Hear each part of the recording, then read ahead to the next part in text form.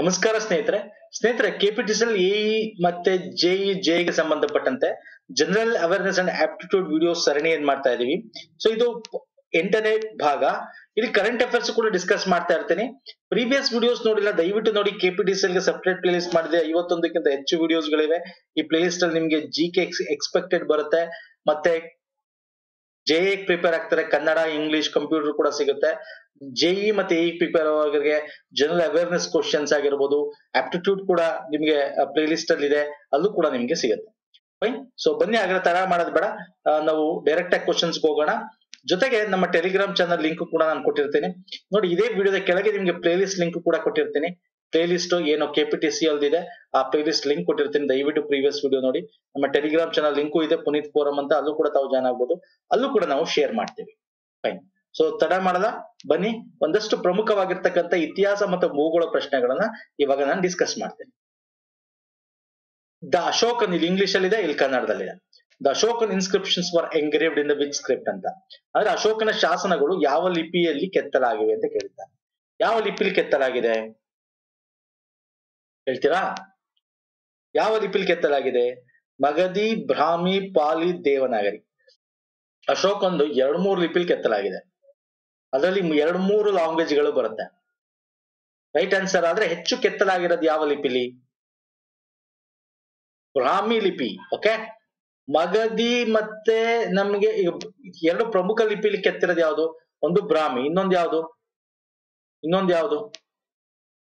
Second one ಕರೋಷ್ಟಿ ಕರೋಷ್ಟಿ ಲಿಪಿ. C ಇವ ಭಾರತದ ಸ್ನೇಹಿತರೆ, ಇಲ್ಲಿ ಈಸ್ಟರ್ನ್ ಅಂಡ್ ಸೆಂಟ್ರಲ್ ಇಂಡಿಯಾದಲ್ಲಿ ನಮಗೆ ಬ್ರಾಹ್ಮಿ ಲಿಪಿ ಸಿಗುತ್ತೆ. ಕರೋಷ್ಟಿ ಲಿಪಿ ನಮಗೆ ಪಾಕಿಸ್ತಾನ ಅಫ್ಘಾನಿಸ್ತಾನ ಈ ಸೈಡ್ ಅಫ್ಘಾನಿಸ್ತಾನದಿಂದ ಆ ಕಡೆ ಹೋದ್ರೆ ನಮಗೆ ಅರೇಬಿಕ್ ಲಿಪಿನೂ ಕೂಡ ಸಿಗುತ್ತೆ.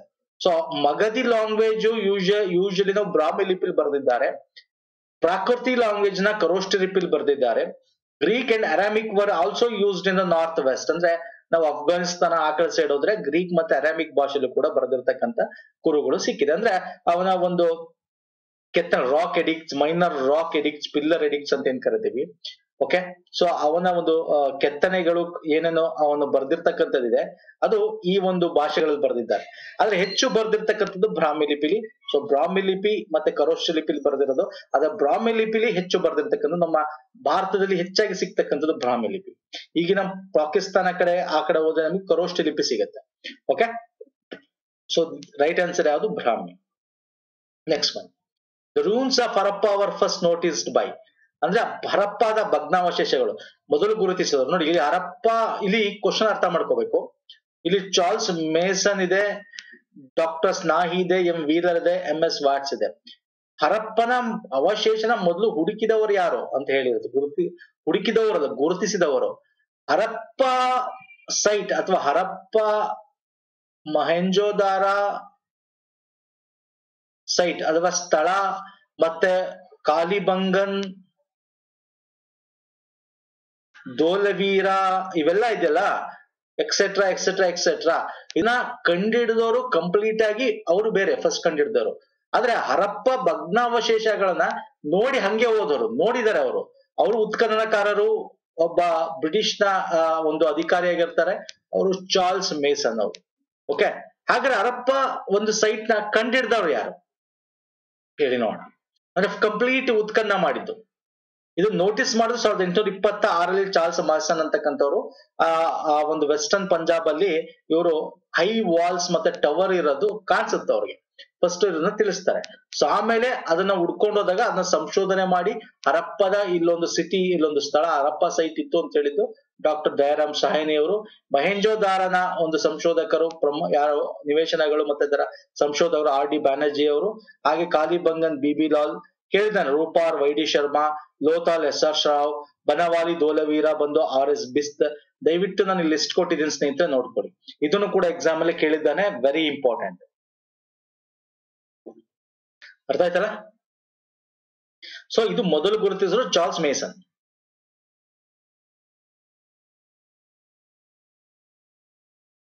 ಎಸ್ ನೆಕ್ಸ್ಟ್ ಬನ್ನಿ. The founder of Portuguese power in India was ಯಾರು? ಪೋರ್ಚುಗೀಸ್ನ ಆ ಪವರ್ ನೋಡಿ, ಅರ್ಥ ಮಾಡ್ಕೋಬೇಕಿಲ್ಲಿ. ಇಲ್ಲಿ ಪೋರ್ಚುಗೀಸರು ನಿಮ್ಗೆ ಗೊತ್ತಿದೆ ಭಾರತಕ್ಕೆ ಕ್ಯಾಲಿಕಟಿಗೆ ಬರ್ತಾನೆ ಯಾರು? ವಾಸ್ಕೋಡಿಗಾಮ ವಾಸ್ಕೋಡಿಗಾಮ ಬರ್ತಾನೆ. ಆಮೇಲೆ ಬ್ಲೂ ವಾಟರ್ ಪಾಲಿಸಿ ತರ್ತಾರೆ. ಯಾರು ತರ್ತಾರೆ?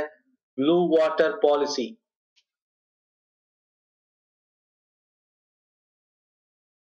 ಯಾರು ತರ್ತಾರೆ? Blue water policy.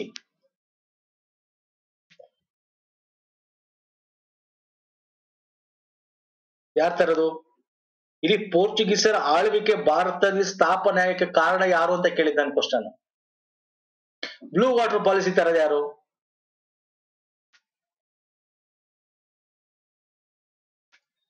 ಓಕೆ ಈ ಕ್ವಶನ್ ಆನ್ಸರ್ ಮಾಡಿ. ಭಾರತದಲ್ಲಿ ಪೋರ್ಚುಗೀಸ್ ಆಳ್ವಿಕೆ ಸ್ಥಾಪಿಸುತ್ತಿದ್ದಾರೆ ಯಾರು? ಅಲ್ಬುಕರ್ಕ್. ಯಾ ಅಲ್ಬುಕರ್ಕ್?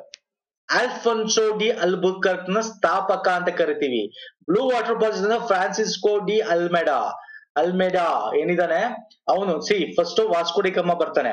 ಆಮೇಲೆ ಫ್ರಾನ್ಸಿಸ್ಕೋ ಡಿ ಅಲ್ಮೆಡಾ ಬರ್ತಾನೆ. ಅವನು ಬ್ಲೂ ವಾಟರ್ ಪಾಲಿಸಿ ತರ್ತಾನೆ. ಬಟ್, ಇಲ್ಲಿ ಸ್ಥಾಪನೆ ಪೋರ್ಚುಗೀಸರು ಬ್ಲೂ ವಾಟರ್ ಪಾಲಿಸಿ ಅಂತ ಓಷನ್, ಇಂಡಿಯನ್ ಓಷನ್ ಕಡೆ ತನ್ನ ಕಂಟ್ರೋಲ್ನ ಬೆಳೆಸ್ಕೊಳ್ಳೋದು. ಬಟ್, ಭಾರತದಲ್ಲಿ ನೆಲೆ ಉಳಿದು ಆಳ್ವಿಕೆ ಮಾಡಬೇಕು. ಒಂದಷ್ಟು ಗೋವಾ, ಬೆಸಿನ್ಸ್ ಆಗಿರ್ಬೋದು, ಮತ್ತೆ ಸಾಲ್ಸೆಟ್ ಆಗಿರ್ಬೋದು, ಇವೆಲ್ಲ ತಮ್ಮ ನೆಲೆಗಳಾಗಿ ಮಾಡ್ಕೋಬೇಕು ಅಂತ ಹೇಳಿ ಗೋವಾನ ಸುಲ್ತಾನ್ ಆಫ್ ಬಿಜಾಪುರನಿಂದ ಗೆದ್ಕೊಂತಾನೆ ಯಾರು? ಅಂದ್ರೆ ನಮ್ಮ ಆಲ್ಫೆನ್ಸೋ ಡಿ ಅಲ್ಬುಕಲ್ ಹಾಗಾಗಿ ಇವನು ನಮ್ಮ ಪೋರ್ಚುಗೀಸ್ ಭಾರತದಲ್ಲಿ ನೆರೆ ನೆರೆ ಕೂತ್ಕೊಳ್ಳಕ್ಕೆ ಫೌಂಡೇಶನ್ ಲೇಡ್ ಮಾಡಿದ್ಯಾರು ಅಂದ್ರೆ ಅಲ್ಬುಕರ್ ಆಲ್ಫೆನ್ಸೋ ಡಿ ಅಲ್ಬುಕರ್ ಅರ್ಥ ಆಯ್ತಲ್ಲ?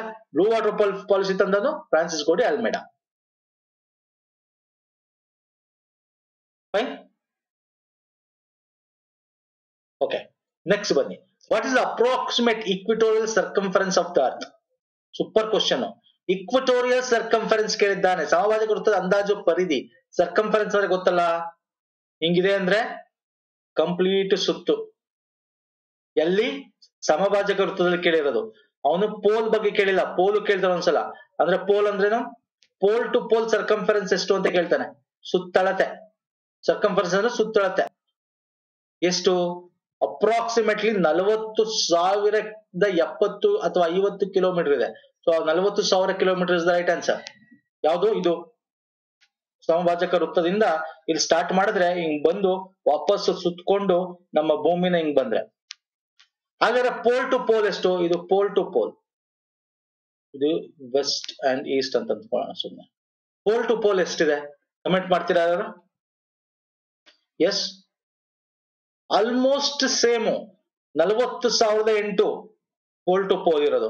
ನಲವತ್ ಸಾವಿರದ ಎಪ್ಪತ್ತೈದು ಇದಿರೋದು ಓಕೆ ಇದಿರೋದು ನಲವತ್ ಸಾವಿರದ ಎಪ್ಪತ್ತೈದು. ಪೋಲ್ ಟು ಪೋಲ್ ಬಂದು ನಲವತ್ ಸಾವಿರ. ನಮ್ಮ ಮೈಲ್ಸ್ಗಳು ಲೆಕ್ಕ ಹಾಕೊಳ್ಳೋ ಹೋದ್ರೆ ಇಪ್ಪತ್ನಾಲ್ಕು ಸಾವಿರದ ಒಂಬೈನೂರ ಒಂದು ಮೈಲ್ಸ್ ಇದೆ. ಆ, ಇಲ್ಲಿ ಸರ್ಕಂಫರೆನ್ಸ್ ಆಫ್ ದ ಮೆಡಿ ನಾವು ಈ ಇದನ್ನ ಇದನ್ನ ಪೋಲ್ ಟು ಪೋಲ್ ಅಂತೀವಲ್ಲ?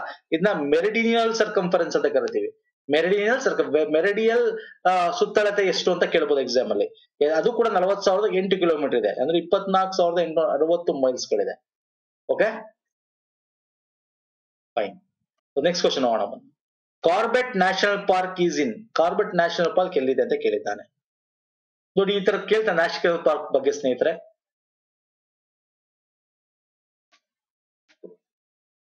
ಎಲ್ಲಿದೆ? Bihar, Assam, Uttarakhand, Madhya Pradesh. Uttarakhand is the right answer ನಾನು ನಿಮ್ಗೆ ಕಂಪ್ಲೀಟ್ ಲಿಸ್ಟ್ ಕೊಡ್ತೀನಿ. ಓಕೆ ರಾಜ್ಯವಾರು ಪ್ರಮುಖವಾದ, ರಾಜ್ಯವಾರು ಪ್ರಮುಖವಾಗಿರ್ತಕ್ಕಂಥ ಒಂದು ನ್ಯಾಷನಲ್ ಪಾರ್ಕ್ನ ಲಿಸ್ಟ್ ಕೊಡ್ತೀನಿ. ದಯವಿಟ್ಟು ನೋಡ್ಕೊಂಬಿಡಿ.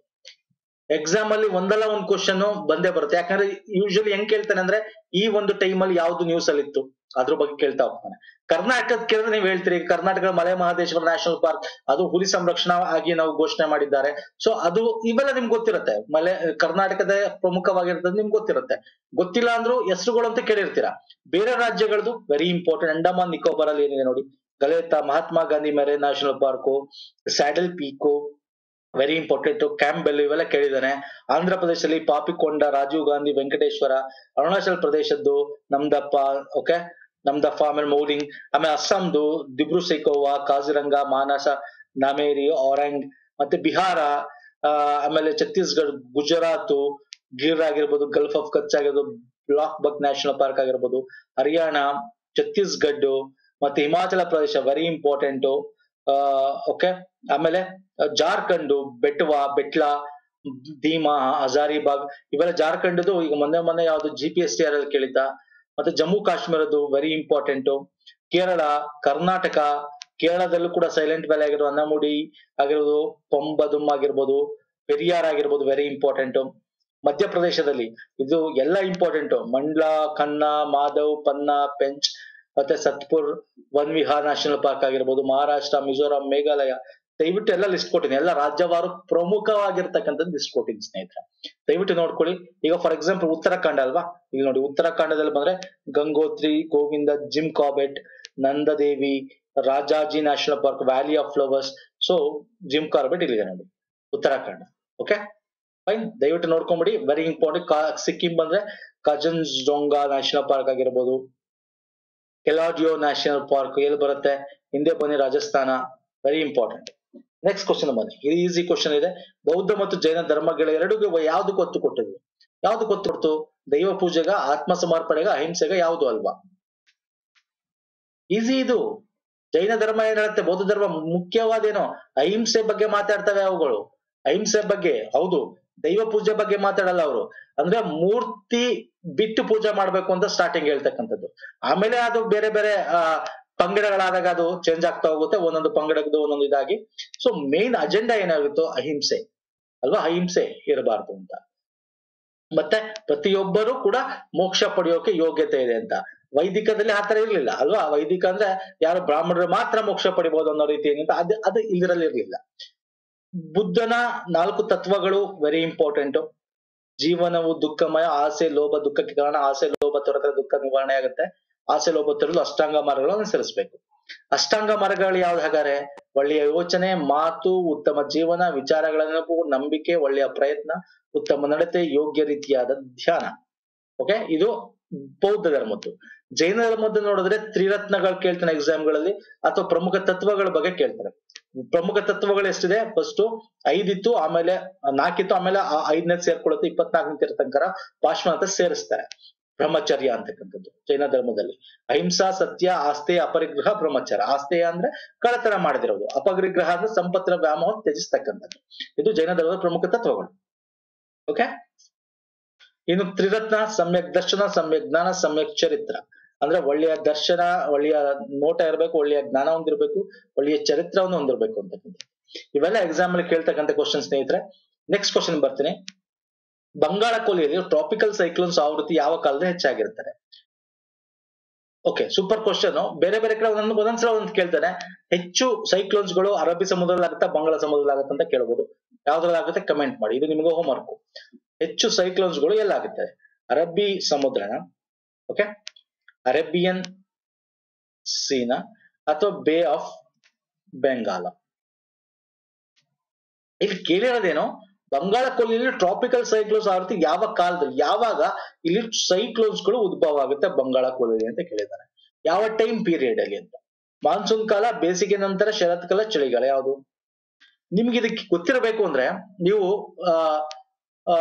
ಋತುಮಾನಗಳ ಬಗ್ಗೆ ಗೊತ್ತಿರಬೇಕು. ಋತುಮಾನಗಳು ಇವೆಲ್ಲ ಮಾಡಿದೀವಿ ನಾವು. ಋತುಮಾನಗಳ ಬಗ್ಗೆ ಗೊತ್ತಿರಬೇಕು. ಫಿಸಿಕಲ್ ಜಿಯೋಗ್ರಫಿ ಒಂದು ಒಂದೇ ವಿಡಿಯೋದಲ್ಲಿ ಮಾಡಿದೀನಿ ಅಲ್ಲಿ ಹೇಳಿದ್ದೀನಿ. ಟ್ರಾಪಿಕಲ್ ಸೈಕ್ಲೋನ್ಸ್ ನಮ್ಗೆಲ್ಲಾಗತ್ತೆ ಬಿಟ್ವೀನ್ ಎಲ್ಲಾಗುತ್ತೆ ಕ್ಯಾಪ್ರಿಕಾನ್ ಅಂಡ್ ಕರ್ಕಾಟಕ ಸಂಕ್ರಾಂತಿ ಮತ್ತೆ ಮಹಾಕ, ಮಕರ ಸಂಕ್ರಾಂತಿ ವೃತ್ತಗಳ ನಡುವೆ ಆಗ್ತಕ್ಕಂಥದ್ದು. ಟ್ರಾಪಿಕಲ್ ಸೈಕ್ಲೋನ್ಸ್ ಇಲ್ಲಿ ಮತ್ತೆ ಇಲ್ಲಿ ಆಗ್ತಕ್ಕಂಥದ್ದು. ಓಕೆ ಇಲ್ಲಿ ಆಗ್ತಕ್ಕಂಥದ್ದು ಇಲ್ಲಿಗೆ ಹೋಗಲ್ಲ, ಇಲ್ಲಿ ಆಗ್ತಕ್ಕಂಥ ಇಲ್ಲಿ ಹೋಗಲ್ಲ. ಬಟ್ ಆಗದು ಎಲ್ಲಿ, ಅಂದ್ರೆ ಈ ಒಂದು ರೀಜನ್ಸ್ ಎಲ್ಲ ಆಗ್ತಕ್ಕಂಥದ್ದು. ಯಾವಾಗ ಆಗುತ್ತೆ? ಅದಕ್ಕೆ ಏನ್ ಬೇಕು? ಹೆಚ್ಚು ಒತ್ತಡ ಪ್ರದೇಶ ಕ್ರಿಯೇಟ್ ಆಗ್ಬೇಕಾಗತ್ತೆ ಆ ಕಡೆ. ಮತ್ತೆ ಏನಾಗ್ಬೇಕು? ಆವಿ ಆಗ್ಬೇಕಾಗತ್ತೆ, ಗಾಳಿ ಇರ್ಬೇಕಾಗತ್ತೆ. ಸೊ ಜೊತೆಗೆ ಏನಿರ್ಬೇಕಲ್ಲಿ? ಆವಿ ಆಗ್ಬೇಕು ಅಂದ್ರೆ ಬಿಸಿಗೆ ಇರಬೇಕು. ಸೊ ಬೇಸಿಗೆ ನಂತರ ಹೆಚ್ಚು ಸೈಕ್ಲೋನ್ಸ್ಗಳು ನಮ್ಗೆ ಬಂಗಾಳ ಕೊಡಿಲಿ ಆಗ್ತದೆ ಬೇಸಿಗೆ ನಂತರ ಆಫ್ಟರ್ ಸಮ್ಮರ್ ಓಕೆ ಇದು because of I T C zone shifting ಅಂದ್ರೆ ನಾವು ಒತ್ತಡ ಪಟ್ಟಿಗಳ ಸ್ಥಳಾಂತರ ಅಂತ ಬರುತ್ತೆ. ಒತ್ತಡ ಪಟ್ಟಿಗಳ ಸ್ಥಳಾಂತರ ಅಂತ ಬರುತ್ತೆ. ನಾವು ಐ ಟಿ ಸಿ ಝೋನ್ ನಮಗೆ ಬೇರೆ ಬೇರೆ ಕಡೆ ಹೋಗ್ತೇವೆ. ಈ ಸಂಧಿ ಕ್ಷೇತ್ರ ಏನಿದೆ ಡೋಲ್ಡ್ರಮ್ ಅಂತ ಏನ್ ಕರಿತೀವಿ ಇಂಟರ್ ಟ್ರಾಪಿಕಲ್ ಕನ್ವರ್ಜನ್ ಝೋನ್ ಅಂತ ಏನ್ ಕರಿತೀವಿ, ಇದು ಶಿಫ್ಟ್ ಆಗುತ್ತೆ. ಐದು ಡಿಗ್ರಿ, ಇದು ಯಾವಾಗ್ಲೂ ಸಮಭಾಜಕ ವೃತ್ತದ ಆಸುಪಾಸು ಐದು ಡಿಗ್ರಿ ಇರುತ್ತೆ. ನಾರ್ಮಲ್ ಕಂಡೀಷನ್ ಅಂದ್ರೆ ನಮ್ಮ ಒಂದು ನಾರ್ಮಲ್ ಕಂಡೀಷನ್ ಅಲ್ಲಿ. ಇದು ನಮಗೆ ಈ ಕಾಲಗಳು ಶಿಫ್ಟ್ ಆದಂಗೆ, ಋತುಮಾನಗಳು ಶಿಫ್ಟ್ ಆದಂಗೆ ಇದು ಕೂಡ ಏನಾಗುತ್ತೆ, ಐದರಿಂದ ನಮ್ಗೆ ಮೂವತ್ತು ಡಿಗ್ರಿ ತನಕ ಶಿಫ್ಟ್ ಆಗುತ್ತೆ. ಸೊ ಈಗ ಶಿಫ್ಟ್ ಆಗೋ ಕಾರಣಗಳಿಂದ ಏನಾಗುತ್ತೆ? ನಮ್ಗೆ ಏನಾಗುತ್ತೆ? ಸೈಕ್ಲೋನ್ಸ್ಗಳು ನಮಗೆ ಉದ್ಭವ ಆಗುತ್ತೆ. ಅದು ಯೂಶುವಲಿ ನಮ್ಗೆ ಬೇಸಿಗೆ ನಂತರ ಬಂಗಾಳ ಕೊಲ್ಲಿಗೆ ಆಗುತ್ತೆ. ಓಕೆ ಬೇಸಿಗೆ ನಂತರ. B is the right answer next ಮನೆ which of the following taxes is a progressive tax super question ತೆರಿಗೆಗಳಲ್ಲಿ ಆರೋಹಣ ತೆರಿಗೆ ಅಂದ್ರೇನು? ಸಿ ಟ್ಯಾಕ್ಸಸ್ ಅಲ್ಲಿ ನಾವು ಯೂಶಲಿ ನಿಮಗೆ ಬೇರೆ ಬೇರೆ ತರದ ಮಾಡ್ತೀವಿ, ಅಲ್ವಾ? ಏನು ನಾವು ರೆವೆನ್ಯೂ ಟ್ಯಾಕ್ಸ್ ಕ್ಯಾಪಿಟಲ್ ಬಗ್ಗೆ ರೆವೆನ್ಯೂ ಬಗ್ಗೆ ಹೇಳ್ತೀವಿ, ಅಲ್ವಾ? ಅದು ಬೇರೆ. ಇದು ಏನು ಅಂದ್ರೆ ಈ ತರ ಟ್ಯಾಕ್ಸ್ನ ಮೂರ್ ರೀತಿ ಡಿವೈಡ್ ಮಾಡ್ಬೋದು, ಇದನ್ನು ಕೂಡ. ಪ್ರೋಗ್ರೆಸಿವ್ ರಿಪ್ರೋಗ್ರೆಸಿವ್ ರಿಪ್ರೆಸಿವ್ ಅಂತೆಲ್ಲ ಡಿವೈಡ್ ಮಾಡ್ತೀವಿ, ಮೂರ್ ರೀತಿ ಮಾಡ್ತೀವಿ. ಇಲ್ಲಿ ಪ್ರೋಗ್ರೆಸಿವ್ ಅಂತಂದ್ರೆ ಏನು? ಅಂದ್ರೆ ಫಸ್ಟ್ ಈಗ ಆನ್ಸರ್ ತಿಳ್ಕೊಳ್ಳೋಣ, ಯಾವುದು ಪ್ರೋಗ್ರೆಸಿವ್ ಟ್ಯಾಕ್ಸ್ ಅಂತ. ಕಸ್ಟಮ್ ಡ್ಯೂಟಿ ಇದೆ ಸೇಲ್ಸ್ ಇದೆ ಇನ್ಕಮ್ ಇದೆ ಎಕ್ಸೆಸ್ ಡ್ಯೂಟಿ ಇದೆ. ರೈಟ್ ಆನ್ಸರ್ ಆದಾಯ ತೆರಿಗೆ. ಪ್ರೋಗ್ರೆಸಿವ್ ಟ್ಯಾಕ್ಸ್ ಅಂದ್ರೆ ಏನು ಅಂದ್ರೆ, ಹೆಚ್ಚು ಇನ್ಕಮ್ ಬಂದಿರೋರಿಗೆ, ಹೆಚ್ಚು ಆದಾಯದವರು ಹೆಚ್ಚು ಆದಾಯದವರು ಹೆಚ್ಚು ಟ್ಯಾಕ್ಸ್ ಕಟ್ಟಬೇಕು. ಹೆಚ್ಚು ಟ್ಯಾಕ್ಸ್ನ ಕಟ್ಟಬೇಕು. ಕಡಿಮೆ ಆದಾಯದವರು ಕಡಿಮೆ ಟ್ಯಾಕ್ಸ್ ಕಟ್ಟಬೇಕು. ಇದು ಪ್ರೋಗ್ರೆಸಿವ್ ಟ್ಯಾಕ್ಸ್ ಅಂತ ಕರಿತೀವಿ. ಓಕೆ ತೆರಿಗೆಯಲ್ಲಿ ಆರೋಹಣ ಕ್ರಮ ಅಂತ. ಇದು ಉದಾಹರಣೆ ಯಾವುದು? ಆದಾಯ ತೆರಿಗೆ. ಅಲ್ವಾ ಸರ್ ಸಿಂಪಲ್ ಅಲ್ವಾ ಸರ್ ಇಲ್ಲಿ ಅಬಕಾರಿ ಸುಂಕ, ಮಾರಾಟ ತೆರಿಗೆ, ಅದ್ರಲ್ಲಿ ಏನು ಸಂಬಂಧ ಇಲ್ಲ. ನೀವು ಏನ್ ಯಾರೇ ಬಂದು ನೀವು ಸಾವುಕಾರ ಬಂದು ಒಂದು ಸೋಪ್ ತಗೊಂಡ್ರೆ ಎಷ್ಟು ಟ್ಯಾಕ್ಸ್ ಕಟ್ಟಬೇಕು ಬಡವ ಬಂದು ಸೋಪ್ ತಗೊಂಡ್ರು ಅಷ್ಟೇ ಟ್ಯಾಕ್ಸ್ ಕಟ್ಟಬೇಕು ಸೊ ಆದಾಯ ತೆರಿಗೆ ಹಂಗಲ್ಲ. ನೀವು ಹೆಚ್ಚು ಆದಾಯ ಪಡೆದ್ರೆ ಹೆಚ್ಚು ಟ್ಯಾಕ್ಸ್ ಕಟ್ಟಬೇಕು ಸೊ ಇದು ಪ್ರೋಗ್ರೆಸಿವ್ ಟ್ಯಾಕ್ಸ್ಗೆ ಉದಾಹರಣೆ. ಅಲ್ವಾ? ಅಬಕಾರಿನೂ ಅಷ್ಟೇ. ಎಕ್ಸೈಸ್ ಡ್ಯೂಟಿ ನೀವೇನೋ ಇಂಪೋರ್ಟ್ ಎಕ್ಸ್ಪೋರ್ಟ್ ಮಾಡ್ತೀರಲ್ಲಿ ಎಕ್ಸೈಸ್ ಡ್ಯೂಟಿ ಕ್ಲೈಮ್ ಕ್ಲೈಮ್ ಮಾಡ್ತೀವಿ ನಾವು. ಸೊ ಅದು ನೀವು ಎಷ್ಟು ಇಂಪೋರ್ಟ್ ಮಾಡಿದ್ರೆ ಅದು ಕಟ್ಟಬೇಕಾಗತ್ತೆ ಸೊ ಇದು ಹಂಗಲ್ಲ. ಇಲ್ಲಿ ಮೂರು ರೀತಿ ಅಂತ ಹೇಳಿದೆ. ಒಂದು ಪ್ರೊಫೆಷನಲ್ ಮತ್ತೆ ರಿಗ್ರೆಸಿವ್ ಟ್ಯಾಕ್ಸ್ ಓಕೆ ಒಂದು ಪ್ರೋಗ್ರೆಸಿವ್ ಬಗ್ಗೆ ನಾನು ಹೇಳಿದೆ ನಿಮ್ಗೆ.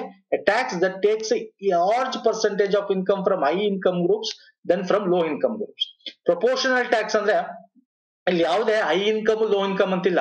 A tax that takes same percentage of income from all the income groups ಎಲ್ಲ ಇನ್ಕಮ್ ಗ್ರೂಪ್ಸ್ ಇಂದ ಸೇಮ್ ಪರ್ಸೆಂಟೇಜ್ ಆಫ್ ದ ಟ್ಯಾಕ್ಸ್ನ ಕಲೆಕ್ಟ್ ಮಾಡ್ಕೊಳ್ಳೋದು.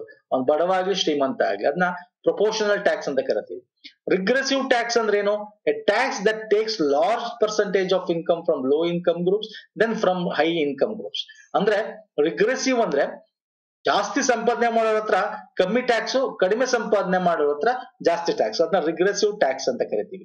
So that is called regressive tax ಯಾವಾಗ್ಲೂ ನೋಡಿ ಹಿಂಗ್ ಹೋಗ್ತದೆ, ಹಿಂಗ್ ಕೆಳಗಿರ್ತದೆ ನಾರ್ಮಲ್ ಪ್ರೊಪೋರ್ಷನಲ್ ಟ್ಯಾಕ್ಸಸ್ ಯಾವಾಗ್ಲೂ ಇಲ್ಲಿ ಬೇರೆ ಬೇರೆ ಇದನ್ನ ಮರ್ಜ್ ಮಾಡಿದೀನಿ ಅಷ್ಟೇ. ಸೊ ಪ್ರೊಪೋರ್ಷನಲ್ ಟ್ಯಾಕ್ಸ್ ಅಂದ್ರೆ ಎಲ್ಲರೂ ಒಂದೇ ತರ ಟ್ಯಾಕ್ಸ್ ಕಟ್ತಕ್ಕಂಥದ್ದು. ಪ್ರೋಗ್ರೆಸಿವ್ ಕಮ್ಮಿ ಇರೋರು ಕಮ್ಮಿ, ಜಾಸ್ತಿ ಇರೋರು ಜಾಸ್ತಿ. ಇಲ್ಲಿ ಕಮ್ಮಿ, ಜಾಸ್ತಿ ತಗೊಳ್ಳೋರು ಕಮ್ಮಿ ಕಟ್ಟಬೇಕಾಗತ್ತೆ ಕಮ್ಮಿ ತಗೊಳ್ಳೋರು ಜಾಸ್ತಿ ಕಟ್ಟಬೇಕಾಗತ್ತೆ that is called regressive tax ಒಂದ್ಸಲ ಈ ಡೆಫಿನೇಷನ್ಗಳು ಕೇಳ್ತಾನೆ ಸ್ನೇಹಿತರೆ ಇದು ಕೂಡ ನಿಮಗೆ ಗೊತ್ತಿರಬೇಕು ನೆಕ್ಸ್ಟ್ ಮನಿ ಇವೆಲ್ಲ ನಾವು ಯು ಎಸ್ ಅಲ್ಲಿ ಈ ತರ ಇದೆ. ಬೇರೆ ಬೇರೆ ದೊಡ್ಡ ದೊಡ್ಡ ರಾಷ್ಟ್ರಗಳಲ್ಲಿ ನೋಡ್ತೀವಿ ಇದನ್ನ. ಓಕೆ ಈ ತರ ಡೆವಲಪ್ ಕಂಟ್ರಿ ಈ ತರ ಎಲ್ಲ ಮಾಡಕ್ಕಾಗಲ್ಲ. ಓಕೆ ಡೆವಲಪ್ಡ್ ಕಂಟ್ರಿಗಳನ್ನ ನಾವು ನೋಡ್ಬೋದು. ಈ ಒಂದು ಪ್ರೊಪೋರ್ಷನಲ್ ಟ್ಯಾಕ್ಸ್ ಗಳನ್ನ ನೋಡುವಂತ ಸಾಧ್ಯತೆ ಇದೆ. ಯಾಕಂದ್ರೆ ಡೆವಲಪ್ ಅಂದ್ರೆ ಆಲ್ಮೋಸ್ಟ್ ಅಲ್ಲಿ ಬಡತನ ಕಮ್ಮಿ ಇರ್ತದೆ ನೆಗ್ಲಿಜಬಲ್ ಇರ್ತಾರೆ ಸೊ ಆಲ್ ಆರ್ ಈಕ್ವಲ್ ಒಂದು ಸ್ಟೇಜ್ಗಳಲ್ಲಿ ಇರ್ತಾರೆ. Okay apart from Tamil Nadu lignite is found in Tamil Nadu ಹೊರತುಪಡಿಸಿ ಡ್ಯಾಶ್ನಲ್ಲಿ ಲಿಗ್ನೆಟ್ ದೊರಕುತ್ತೆ ಅಂತ ಕೇಳಿದ್ದಾರೆ. ಲಿಗ್ನೈಟ್ ಅಂದ್ರೆ ಏನೋ ಗೊತ್ತಿರಬೇಕು? ಕಲ್ಲಿದ್ದಲಿನ ಒಂದು ಅದರಗಳಲ್ಲಿ ಏನೇನು ಬರುತ್ತೆ? ಹೆಮಟೈಟ್ ಮೆಗ್ನಟೈಟ್ ಲಿಗ್ನೈಟ್ ಅಲ್ವಾ? ಪೀಟ್ ಸೊ ಇಲ್ಲಿ ತಮಿಳ್ನಾಡು ಬಿಟ್ರೆ ಸಿಗೋದು ಈ ಒಂದು ಲಿಗ್ನೈಟ್ ಅಂತಕ್ಕಂಥದ್ದು ನಮಗೆ ಗುಜರಾತ್ ಅಲ್ಲಿ ಹೆಚ್ಚು ಸಿಗುತ್ತೆ. ಓಕೆ ಗುಜರಾತ್ ಅಲ್ಲೇ ಸಿಗ್ಬೇಕು ಅಂತೇನಿಲ್ಲ, ಬೇರೆ ಕಡೆನೂ ಸಿಗುತ್ತೆ.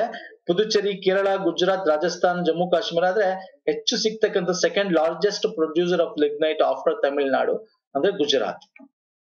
Okay very important next ಬನ್ನಿ. ಇನ್ನು ಇದ್ರ ಬಗ್ಗೆ ಕೇಳ್ತಾನೆ. ಇದರಲ್ಲಿ ಪರ್ಸೆಂಟೇಜ್ ಆಫ್ ಅತ್ಯಂತ ಹೆಚ್ಚು ಇಂಗಾಲ ಹೊಂದಿರತಕ್ಕಂಥದ್ದು ಯಾವುದು ಅಂದ್ರೆ ಹೆಮಟೈಟ್ ಇವೆಲ್ಲ ನಾವು ಕೆ ಎಸ್ ಎಫ್ ಟಿ ಎಗಳಲ್ಲಿ ಕೇಳಿದ್ದಾನೆ. ಸೊ ಬೇರೆ ಬೇರೆ ಎಕ್ಸಾಮ್ ಅಲ್ಲಿ ಕೇಳ್ತಾನೆ. ಹೆಮಟೈಟ್ ಎಷ್ಟು ಪರ್ಸೆಂಟ್ ಹೊಂದಿದೆ ಮೆಗ್ನೆಟೈಟ್ ಎಷ್ಟು ಪರ್ಸೆಂಟ್ ಹೊಂದಿದೆ ಸಾರಿ ಹೆಮಟೈಟ್ ಅಲ್ಲ ಮೆಗ್ನೆಟೈಟ್ ಸೊ ಇಲ್ಲಿ ಮೆಗ್ನೆಟೈಟ್ ಎಷ್ಟು ಪರ್ಸೆಂಟ್ ಒಂದು ಹೈಯೆಸ್ಟ್ ಇಂಗಾಲ ಹೊಂದಿರತಕ್ಕಂಥದ್ದು ಕಾರ್ಬನ್ ಕಂಟೆಂಟ್ ಸೊ ಮೆಗ್ನೆಟೈಟ್ ಎಷ್ಟು ಪರ್ಸೆಂಟ್ ಹೊಂದಿದೆ ಹೆಮಟೈಟ್ ಎಷ್ಟು ಪರ್ಸೆಂಟ್ ಒಂದು ಲಿಗ್ನೆಟ್ ಇದೆ. ಇವೆಲ್ಲ ನಾವು ಆಲ್ರೆಡಿ ಡಿಸ್ಕಸ್ ಮಾಡಿದೀನಿ ಥಿಯರಿ ಕ್ಲಾಸ್ ಅಲ್ಲಿ ಒಂದೇ ವಿಡಿಯೋದಲ್ಲಿ ಮಾಡಿದೀನಿ ಸ್ನೇಹಿತರೆ. ಫಿಸಿಕಲ್ ಜಿಯೋಗ್ರಫಿ ಒಂದು ಟೂ ಅವರ್ ವಿಡಿಯೋ ಏನಿದೆ. Two two and half hour video ಮತ್ತೆ Indian geography one hour video ಇದೆ one one and half hour through map ಮುಖಾಂತರ ಮಾಡಿರ್ತಕ್ಕಂಥದ್ದು, ದಯವಿಟ್ಟು ಒಂದ್ಸಲ ನೋಡಿ. ನೆಕ್ಸ್ಟ್ ಕ್ವಶನ್ ಬನ್ನಿ. Akbarnama was completed by Abul Fazal in ಎಷ್ಟು ವರ್ಷದಲ್ಲಿ ಅಂತ. ಅಕ್ಬರ್ ನಾಮ ಗೊತ್ತು ಅಕ್ಬರನಿಗೆ ಸಂಬಂಧಪಟ್ಟಿರ್ತಕ್ಕಂಥದ್ದು, ಅವನ ರೀಜನ್ ಅವನ ಟೈಮಲ್ಲಿ ಆಗಿರ್ತಕ್ಕಂಥ ಬೆಳವಣಿಗೆ ದಾಖಲೆ ಮಾಡಿದ್ದಾರೆ. ಅದನ್ನ ಬರ್ದಿದ್ದು ಅಬುಲ್ ಫಜಲ್ ಎಷ್ಟು ವರ್ಷಗಳಲ್ಲಿ ಪೂರ್ಣಗೊಳಿಸ್ತಾರೆ super question usually Akbarnama ಬರ್ದವ್ರು ಯಾರು ಅಂತ ಕೇಳ್ತಾರೆ. ಇಲ್ಲಿ ಎಷ್ಟು ವರ್ಷಗಳು ಪೂರ್ಣಗೊಳಿಸ್ತಾ ಅಂತ ಕೇಳಿದಾನೆ ಇನ್ನೊಂದ್ಸಲ ಏನ್ ಕೇಳಬಹುದು ಅಕ್ಬರ್ ನಾಮ ಅಬುಲ್ ಫಜಲ್ ಯಾವ ಭಾಷೆಯಲ್ಲಿ ಬರ್ದ ಅಂತ ಕೇಳಬಹುದು ಫಸ್ಟ್ ಬರ್ದಿದ್ದವನು ಯಾವ ಭಾಷೆಯಲ್ಲಿ ಅಂತ ಕೇಳಬಹುದು ಓಕೆ ಏಳು ವರ್ಷ is the right answer okay ಯಾವ ಭಾಷೆಯಲ್ಲಿ ಬರ್ದ? ಪರ್ಷಿಯನ್ ಭಾಷೆಯಲ್ಲಿ. ಯಾವುದು? ಪರ್ಷಿಯನ್ ಭಾಷೆಯಲ್ಲಿ ಅವನು ಬರೆದಿರ್ತಕ್ಕಂಥದ್ದು. ಅಬುಲ್ ಫಜಲ್ ಈ ಒಂಬತ್ತು ನವರತ್ನಗಳಲ್ಲಿ ಇದ್ದವನು ಅಕ್ಬರ್ನ ಕೋರ್ಟ್ ಅಲ್ಲಿ ಅವನು ಇದನ್ನ ಮೂರ್ ಬುಕ್ ಆಗಿ ಬರ್ತಾನೆ. ಫಸ್ಟ್ ಕಂಟಿನ್ಯೂಸ್ ಆಗಿ ಬರ್ತಾನೆ ತರ್ಡ್ ಬುಕ್ ಐನಿ ಅಕ್ಬರಿ ಅನ್ನೋ ಹೆಸರಲ್ಲಿ ಬರೀತಾನೆ. ಈ ಎಲ್ಲಾ ಬುಕ್ನ ಪರ್ಷಿಯನ್ ಲ್ಯಾಂಗ್ವೇಜ್ ಅಲ್ಲಿ ಬರೀತಾನೆ. ಆ, ಇದನ್ನ ಸೆವೆನ್ ಇಯರ್ಸ್ ತಗೊಂಡ ಅವನು ಬರೆಯಕ್ಕೆ. ಓಕೆ ಸಾವಿರದ ಐನೂರ ಎಂಬತ್ತೊಂಬತ್ತರಿಂದ ಸಾವಿರದ ಐನೂರ ತೊಂಬತ್ ಆರರ ತನಕ ಇವನು ಅಬುಲ್ ಫಜಲ್ ಈ ಅಕ್ಬರನ ಇದು ಹಿಸ್ಟ್ರಿ ಬಗ್ಗೆ, ಇವನ ಇವನ ಟೈಮಲ್ಲಿ ಆಗಿರ್ತಕ್ಕಂಥದ್ರ ಬಗ್ಗೆ ದಾಖಲೆ ಮಾಡ್ತಾನೆ. ಎಲ್ಲಿ? ಅಕ್ಬರ್ ನಾಮದಲ್ಲಿ. Fine very good next question ಬನ್ನಿ. Consider the following rivers Barak Lohit, ಸುಬನ್ಸ್, Subansiri okay Subansiri, ಸ್ವರ್ಣ, ಇವೆಲ್ಲ ಬ- ಸ- ಸ್ವರ್ಣ ಅಂತಾನೆ ಕರಿತಿದ್ರು ಅದನ್ನ. ಇವೆಲ್ಲ ಕೊಟ್ಟುಬಿಟ್ಟು ಏನ್ ಕೇಳಿದಾನ ಅಂದ್ರೆ ಇದ್ರಲ್ಲಿ ಅರುಣಾಚಲ ಪ್ರದೇಶದ ಮುಖಾಂತರ ಅರಿಯತಕ್ಕಂಥದ್ದು ಯಾವುದು ಅಂತ ಕೇಳಿದಾನೆ ಈ ನದಿ. ಯಾವ ನದಿ ಅರುಣಾಚಲ ಪ್ರದೇಶದ ಮುಖಾಂತರ ಅರಿಯುತ್ತೆ? ಹೇಳಿ ಆನ್ಸರ್ ಮಾಡಿ ನೋಡೋಣ. Super question north east states river ಬಗ್ಗೆ ನಿಮ್ಗೆ ಗೊತ್ತಿದ್ರೆ ಇದನ್ನ ಆರಾಮಾಗಿ ಆನ್ಸರ್ ಮಾಡಬಹುದು ಮಾಡಿದೀನಿ ಭಾರತ ನದಿಗಳದು. ಅಲ್ಲೂ ಲೋಹಿತ್ ಬಗ್ಗೆನೂ ಡಿಸ್ಕಸ್ ಮಾಡಿದೀನಿ ಅನ್ಕೋತೀನಿ. ಉಪನದಿಗಳನ್ನ ಬ್ರಹ್ಮಪುತ್ರದ ಉಪನದಿಗಳಲ್ಲಿ ಡಿಸ್ಕಸ್ ಮಾಡಿದ್ದೀನಿ, ಬ್ರಹ್ಮಪುತ್ರ ನದಿಯ. ಸೊ ರೈಟ್ ಆನ್ಸರ್ ಬರ್ ಒಂದು, ಎರಡು ಮೂರಲ್ಲಿ ಯಾವುದು? ಮೂರು ಕರೆಕ್ಟಾ ಒಂದು ಮತ್ತೆ ಮೂರ, ಒಂದ ಅಥವಾ ಎರಡು ಮತ್ತೆ ಮೂರ. ಎರಡು ಮತ್ತೆ ಮೂರು ಇಸ್ ದ ರೈಟ್ ಆನ್ಸರ್ ಅಂದ್ರೆ ಲೋಹಿತ್ ಮತ್ತು ಸುಬನ್ಸಿರಿ ಸಿ ಬರಾಕ್ ನಮ್ಗೆ ಮಣಿಪುರದ ಬೆಟ್ಟಗಳಲ್ಲಿ ಮುಕ್ರು ರಿವರ್ ಅಂತ ಬರುತ್ತೆ. ಮುಕ್ರು ರಿವರ್ ಅಂತ. ಅದರ ಒಂದು ರಿವರ್ ಸೋರ್ಸ್ ಇಂದ ಮಣಿಪುರದ ಬೆಟ್ಟಗಳಿಂದ ಹುಟ್ಟುತ್ತದು. ಅದು ಮಣಿಪುರದ ಮುಖಾಂತರ ತೋರಿಸ್ತೀನಿ ನಿಮಗೆ. ಮಣಿಪುರ ಇಂದ ಮುಖಾಂತರ ಇಲ್ಲಿ ನಾಗಾಲ್ಯಾಂಡ್ ನೋಡಿ, ಬರಾಕ್ ರಿವರ್ ಇದೆ ನೋಡಿ. ನಾಗಾಲ್ಯಾಂಡ್ ಬರುತ್ತೆ. ನಾಗಾಲ್ಯಾಂಡ್ ಇಂದ ಬಂದು ಒಂಚೂರು ಮಿಜೋರಾಂ ಬಂದು ಇಲ್ಲಿ ಅಸ್ಸಾಂನ ಮುಖಾಂತರ ಹೋಗಿ ಹಿಂಗೆ ಈ ಕಡೆ ಬಾಂಗ್ಲಾದೇಶ, ತ್ರಿಪುರದ ಮುಖಾಂತರ ಅಸ್ಸಾಂ ಈ ಕಡೆ ಮೇಘಾಲಯ ಮುಖಾಂತರ ಈ ಕಡೆ ಬಾಂಗ್ಲಾದೇಶಕ್ಕೆ ಹೋಗ್ತಕ್ಕಂಥದ್ದು, ಯಾವುದು ಬರಾಕ್. ಇದು ಅಸ್ಸಾ ಇಲ್ಲಿ ನಮ್ಗೆ ಅರುಣಾಚಲ ಪ್ರದೇಶಕ್ಕೆ ಬರದ, ಬರಾಕ್. ಓಕೆ ಲೋಹಿತ್ ಮತ್ತೆ ದಿಬಾಂಗ್ ಆಗಿರ್ಬೋದು, ಇಲ್ಲಿ ನೋಡಿ ಲೋಹಿತ್ ಆಗಿರ್ಬೋದು ಓಕೆ ಇಲ್ಲಿ ನೋಡಿ ಸುಬನ್ಸಿರಿ ಆಗಿರ್ಬೋದು, ಇವೆಲ್ಲ ಏನಾಗುತ್ತೆ? ಅರುಣಾಚಲ ಪ್ರದೇಶದಿಂದ ಬರ್ತಕ್ಕಂಥದ್ದು. ಈ ಲೋಹಿತ್ ರಿವರ್ ಜೈಲು ಚೂ ಅಂತ ಕರಿತೀವಿ ಟಿಬೇಟಿಯನ್ ಅಂದ್ರೆ ಚೈನಾ ಟಿಬೇಟಿಯನ್ ಇಂದ ಬರ್ತಕ್ಕಂಥದ್ದು. ಇದು ಬ್ರಹ್ಮಪುತ್ರ ರಿವರ್ಗೆ ಅಸ್ಸಾಂ ಅಲ್ಲಿ ಜಾನ್ ಆಗುತ್ತೆ. ಅರುಣಾಚಲ ಪ್ರದೇಶದ ಮುಖಾಂತರ ಇದು ಹರಿತಾ ಬರುತ್ತೆ. ಇದು Subansiri river trans Himalayan river, ಇದು ಕೂಡ ಬ್ರಹ್ಮಪುತ್ರದ ಒಂದು ಟ್ರಿಬ್ಯೂಟರಿ ಅಂದ್ರೆ ಉಪನದಿಯ ಇದು. ಇದು ಟಿಬೇಟ್ನ ಲೂಸನ್ಸ್ ಕೌಂಟಿ ಅನ್ನೋ ಒಂದು ಇದರಲ್ಲಿ ಹರಿದು ಅದು ಕೂಡ ಭಾರತ ಕರ್ನಾಟಕ ಪ್ರದೇಶ ಮುಖಾಂತರ ಬಂದು ಅಸ್ಸಾಂಗೆ ಬರುತ್ತೆ. ಅಲ್ಲಿ ಅಸ್ಸಾಂನ ಹತ್ರ ಸೇರುತ್ತೆ. ಸುಬನ್ಸಿರಿ ಲೋಹಿತ್ ಬರಾಕ್ ಮಾತ್ರ ಮಣಿಪುರ, ನಾಗಾಲ್ಯಾಂಡ್, ಮಿಜೋರಾಂ, ಅಸ್ಸಾಂ ಅಲ್ಲಿಂದ ಮುಖಾಂತರ ಬಾಂಗ್ಲಾದೇಶಕ್ಕೆ ಹೋಗಿ. ಅಲ್ಲಿ ಬಾಂಗ್ಲಾದೇಶದಲ್ಲಿ ಸುರ್ಮಾ ಬೇರೆ ಬೇರೆ ನದಿಯ ಒಂದು ಇದಕ್ಕೆ ಜಾಯ್ನ್ ಆಗಿ ಮೇಘನಾ ರಿವರ್ಗೆ ಫೈನಲಿ ಅದು ಹೋಗಿ ಜಾಯ್ನ್ ಆಗುತ್ತೆ. ಮೇಘನಾ river is a Ganga and Brahmaputra ಗೊತ್ತಿದೆಯಲ್ಲ yes so ಇದಿಷ್ಟು ಪ್ರಮುಖವಾಗಿರೋದ ಸ್ನೇಹಿತರೆ, ಇನ್ನು ಹಿಂದೆ ಕ್ವಶನ್ಸ್ ತುಂಬಾ ನೆಕ್ಸ್ಟ್ ವಿಡಿಯೋ ಡಿಸ್ಕಸ್ ಮಾಡೋಣ, ಒಂದೇ ವಿಡಿಯೋ ಬೇಡ ಅಂತ. ಲೈಕ್ ಮಾಡಿ, ಇಷ್ಟ ಆಗಿದೆ ಶೇರ್ ಮಾಡಿ ಸಬ್ಸ್ಕ್ರೈಬ್ ಮಾಡ್ಕೊಂಡಿಲ್ಲ ಅಂದ್ರೆ ಸಬ್ಸ್ಕ್ರೈಬ್ ಮಾಡ್ಕೊಳ್ಳಿ ಸ್ನೇಹಿತರೆ. ನೆಕ್ಸ್ಟ್ ವಿಡಿಯೋ ಸಿಗ್ತೀನಿ, ಮತ್ತೆ ಪ್ಲೇ ಲಿಸ್ಟ್ ಲಿಂಕ್ ಕೊಟ್ಟಿರ್ತೀನಿ ಕೆ ಪಿ ಟಿ ಸಿ ಅಲ್ದು ಪ್ಲೇ ಲಿಸ್ಟ್ ದಯವಿಟ್ಟು ಜಾಯ್ನ್ ಹಾಕಿ. ನೆಕ್ಸ್ಟ್ ವಿಡಿಯೋ ಪುನಃ ಸಿಗ್ತೀನಿ. ನಮ್ಮ ಟೆಲಿಗ್ರಾಮ್ ಚಾನಲ್ ಲಿಂಕ್ ಕೂಡ ಇದೇ ವಿಡಿಯೋದ ಕೆಳಗೆ ಡಿಸ್ಕ್ರಿಪ್ಷನ್ ಬಾಕ್ಸ್ ಇರುತ್ತೆ ಧನ್ಯವಾದಗಳು.